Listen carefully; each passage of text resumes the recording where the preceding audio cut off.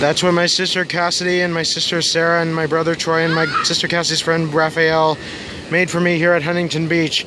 I'm almost 22 in the next two days. It's Monday, April 10, 2017. Yeah, it looks really awesome. Thanks, guys. I really love you guys.